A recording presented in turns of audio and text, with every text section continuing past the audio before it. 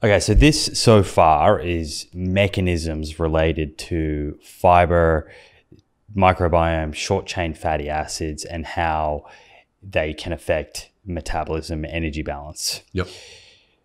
But mechanisms are one thing. What evidence do we have that all of this plays out in, in humans? Yeah, let's put it to the test. We, we don't want to just take mechanisms. That not, that's not the way we roll. We want to take real human research. And we're going to turn to uh, a famous NIH researcher named Kevin Hall. He does uh, met- metabolism research, and he's um, very well known for these studies where he'll take a group of people and they i'm not sure how much they're paid to do this but they will get locked up in a essentially like uh, dormitory and they will just eat the food that he's providing to them okay so we call this a metabolic ward and essentially they're enrolling in a clinical study for more than a month and they are served trays of food and they're not allowed to bring in any outside snacks or anything like this okay so in this metabolic ward study that we're about to talk about that was published in Nature Medicine in February of 2021. Um, they uh, they did two weeks on a completely plant based diet, and they did two weeks on a ketogenic diet, an animal based ketogenic diet. Now, both of these diets were matched for protein intake. So protein was the same. Uh, it was the carbs and the fat that were different. So, of course, the keto diet was high fat, low carb, and the plant based diet was high carb, low fat. And there were other there were two other major differences between the groups. The the plant-based diet was high in fiber, the keto diet was high in saturated fat. Now with both of these, they were served food and then they were told, "Eat until you're full." Just keep eating until you're full. Okay, so they were not cut off. Right. Ad lib. Ad lib. And um, and everyone crossed over, so they were controlling for themselves. So each person got to do two weeks on each of these diets. And basically, what we see is that. Um, so I want to pull up uh, a, a figure here for everyone to take a look at. What we're looking at here is the body weight change that's taking place, being measured in kilograms, by the way. So each, bear in mind, each kilogram is 2.2 pounds. Just to be clear as well, you're talking about the folks that are tuning in on YouTube. If you're listening on Apple or Spotify, you might need to flick over. Okay, and I'm going to describe it so people can uh, also hear it through my voice. But if you're on YouTube, you can take a look, and you might want to pull up YouTube if you're just listening on the audio. Um, but basically, what you see here on this first graph is that the red line is going to be the the animal based keto diet, and people are clearly losing more weight on the animal based keto diet. Are you disappointed, Simon? No, because I know the results. okay, so um, so people did lose more weight on the ketogenic diet, but the question is, what kind of weight were they losing? Because there's this assumption that many times we jump to of, oh, I lost weight, that must be good. But what if it's what if you're losing the part that you don't want to lose?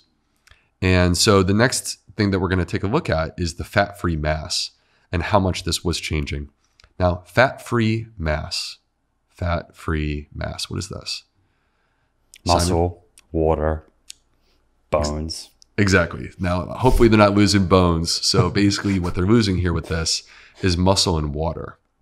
And what you can see uh, is that with the red line that on the animal-based ketogenic diet, there is a significant decline in fat-free mass that takes place during the first week. So, you know, once again, like when you cut your carbs, um, you pee out and you look great in the mirror, but what you've lost is not fat; you've lost water weight. Right, you've depleted glycogen, and with that, yeah, comes a lot of water that's lost. Yeah, and and like, look, I mean, if I were uh, competing in a bodybuilding competition. That that's what I would do in the last, you know, couple days before the event. But nonetheless, so the plant-based diet though, like you don't want to lose fat-free mass, and the plant-based diet was maintaining its fat-free mass throughout the study. So that's a beautiful thing. What you did want to lose was fat. You want to lose fat mass, right? We want to burn fat. So we've been talking about this, you know, the second sort of thing that short chain fatty acids do is they help us to consume the fat, metabolize it, get rid of it, get it out of our body. And guess what? That is exactly what we see on the high fiber plant based diet. Over the course of two weeks, they lost uh, significantly more. You can see a separation between the lines. There's a significant decrease on the plant based low fat diet in terms of their fat loss, um, as opposed to the keto diet, which did lose some fat, but not nearly as much as you did with the plant based diet. So they're, they're metabolizing their fat. Now, uh, this is really cool because it brings us back to the very first point about fiber and microbes, which is that they make us feel full. we achieve satiety. Right. So they measured how satisfied people were. They, they measured hunger, satisfaction, and fullness, and the two diets were exactly the same. Despite eating almost 700 calories less. This is the key. This is the key is in this last graph for those on YouTube. What you see here, the red line is the keto diet, the green line is the plant-based diet. And on the plant-based diet, every single day that they were on the plant-based diet, they consumed less calories on average, even though they achieved the exact same levels of hunger, satisfaction, and fullness. And when you average it out, it was about 700 calories less per day on the plant based diet compared to the keto diet. And if you want to put that in the framework of like losing weight, 700 calories, that means in about five days, you're going to lose a pound. Wow. And just to be clear on the on the bodybuilding strategy for for getting ready for a stage, I think that the protocol tends to be some calorie restriction, carb restriction going in, but then on the mm. day they often carbohydrate up to get that glucose to kind of flood back into the muscles and and puff up. So just want to make that clear for your next bodybuilding comp. well, I have yet to enter a bodybuilding competition, but uh, I will You're, you're on consult your way. you next time. right. Thank you. Uh, so let me play devil's advocate. That's that's a two week study, right? Yeah. Um, how do we know if that continues to kind of play out over the long term, or if there's some type of adaptation process, and then you know the the difference in calorie consumption starts to even out? Sure, we can we can take a look at um, randomized controlled trials. Randomized controlled trials where people increase their fiber intake have clearly demonstrated. Uh, this is, by the way, from Andrew Reynolds in the Lancet 2019. Have clearly demonstrated that people lose weight when they increase their fiber consumption. Um, there's also uh, um, uh, waist circumference data that shows that fiber consumption achieves a, a, a lower waist circumference. Um, and there's also fat uh, fat um, uh, loss data that have uh, been shown as well.